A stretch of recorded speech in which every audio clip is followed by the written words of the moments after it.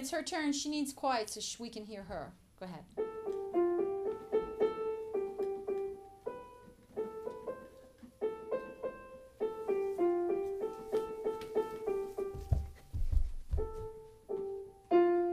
And everyone?